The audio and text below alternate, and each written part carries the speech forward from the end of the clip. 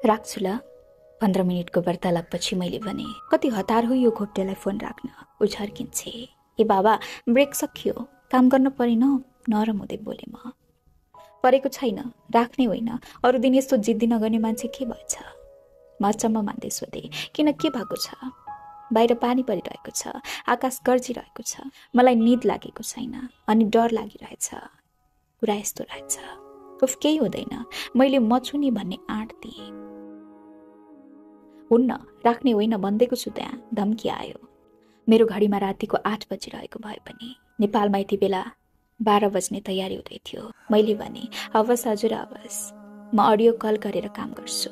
नडराइ सुत्नु। निदाइसकेपछि राखिदिउँला गुड बोय। मुस्कुराएको इमोजी सहित मेसेज आयो। अनि सुनाउ कस्तो भयो ती यति प्रश्न गरेर म काममा व्यस्त भएँ।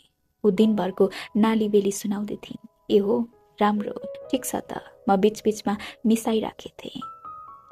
उनलाई निद लागेछ क्यारे। आवाज मधुरो र सुस्त हुँदै गयो। करिब एक घन्टापछि कनेक्टिङको नोटिफिकेसन सहित फोन काटियो। सायद वर्षाको कारण लाइन गयो कि। यो घटना केही पहिलेको हिजो आज उनीसँग बोलचाल छैन। ऊ आफै बेखबर भएकी हुन्। आज साँझदेखि पानी परिरहेछ अरे नेपालमा।